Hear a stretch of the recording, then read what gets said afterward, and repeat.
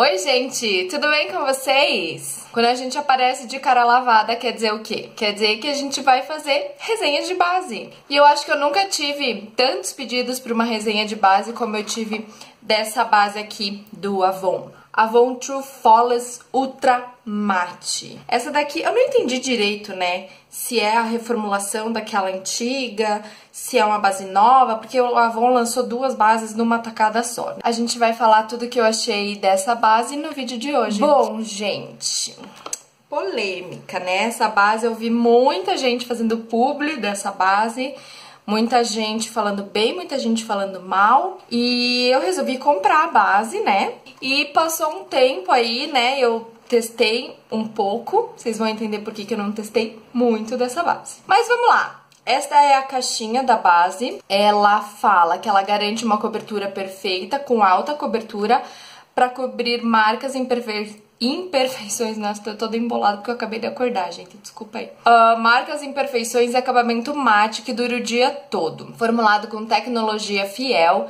que permite que a cor da maquiagem se adapte ao tom de pele, proporcionando um resultado muito mais natural do... Óculos, cadê você? proporcionando um resultado muito mais natural que dura o dia todo. Desenvolvida para reduzir a aparência dos poros e a produção de oleosidade ao longo do dia. Eu vi muita resenha dessa base, muita, muita, muita, muita, muita. Peguei algumas referências, é, algumas blogueiras de referência, né, que eu sempre uso, que tem mais ou menos a mesma cor do meu tom de pele. E eu escolhi a cor bege claro. Aí começa o nosso problema, tá? Eu vou fazer um swatch aqui. Todas as resenhas que eu vi, todo mundo falou que a base oxida. Todo mundo falou os publis, os não publis. Eu vou deixar este swatch aqui, tá?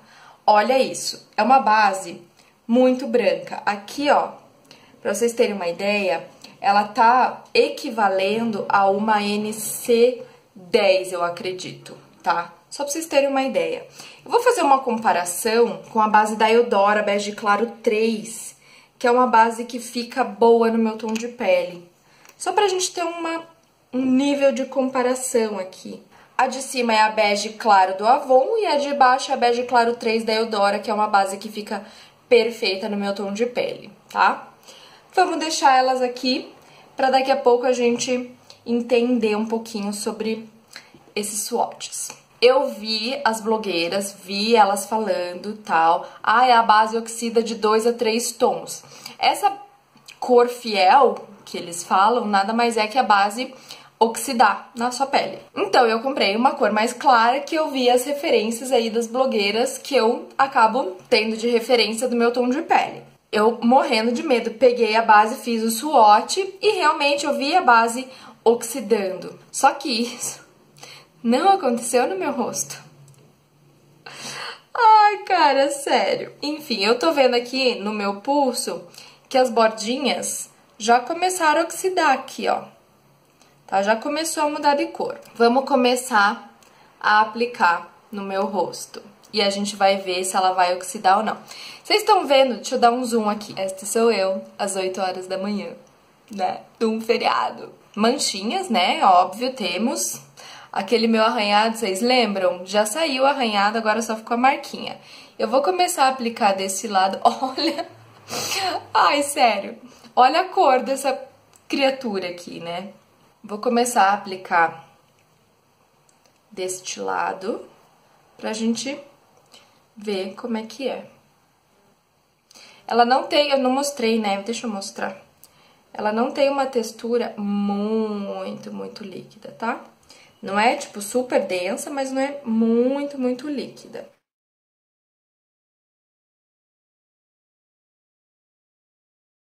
Cara, é muito engraçado você aplicar uma base tão absurdamente clara assim.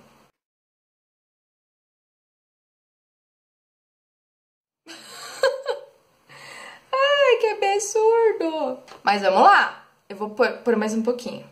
Eu tava na fé, né, que ela ia oxidar. Menina, não, todo mundo falou que oxida. Dois a três tons. E eu fui na confiança. Ó, abaixei um pouco a luz aqui pra gente ver bem mal passada, por sinal, né? Mas assim, ó, cadê a minha manchinha, meu risco aqui, ó?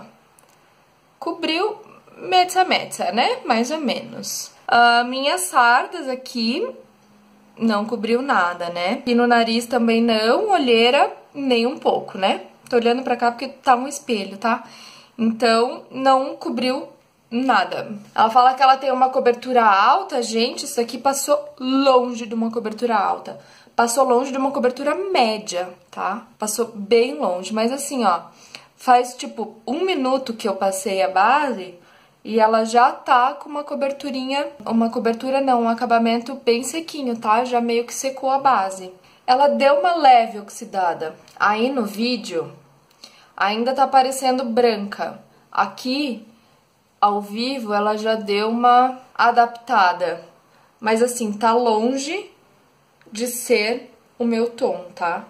Aqui ainda ela tá meio molhada, então ela não oxidou tanto. Mas o que eu quero falar é desta cobertura lenta. É muito pouca a diferença das minhas sardinhas aqui de um lado pro outro, né? Aqui na testa praticamente não dá pra ver diferença se tem base ou se não tem base. Vamos ver o poder oxidativo dessa base?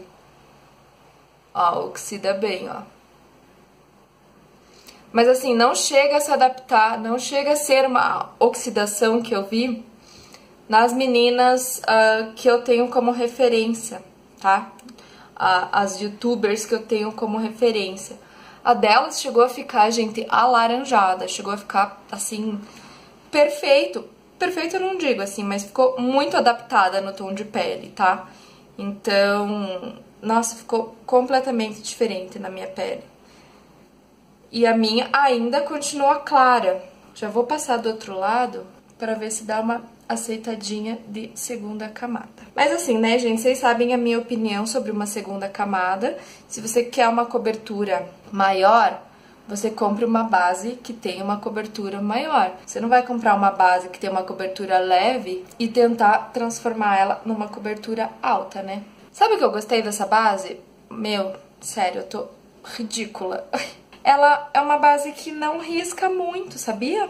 Olha, gente, como a segunda camada, ela cobriu muito mais, muito mais não, né? É, esse lado aqui tem só uma camada e esse lado aqui tem duas camadas. Eu estou medonha na câmera, medonha. Ao vivo, a diferença de tonalidade do meu pescoço não tá tão evidente. Só que assim, ó, e já tá seca, tá? Faz, eu acabei de terminar de coisar, só passei a esponjinha. Bom, minha gente, voltei. Bem basiquinha, com uma make assim, nada, aquela make de ir na padaria. Ah, é brincadeira, gente, eu gravei outro vídeo, então eu fiz essa maquiagem. Se não foi ao ar, irá, e eu estou com um rímelzinho borradinho aqui. Vamos às conclusões finais desta base aqui. Lembram dos meus swatches? Estão aqui. Ah, não estou com a base do Avon, tá? Só pra constar que eu tirei e troquei. Os meus swatches aqui, ó, eu vou colocar a base... Caraca! Vamos dar uma olhadinha na diferença de oxidação? eu acho que deu uma oxidada de dois ou três tons. Não, três eu não acho, mas dois com certeza, gente. Olha aqui. Avon, bege claro, a uma hora mais ou menos eu passei. Avon, essa daqui é a mais clara, foi a que eu acabei de passar, gente. Então, assim, realmente, ela oxida.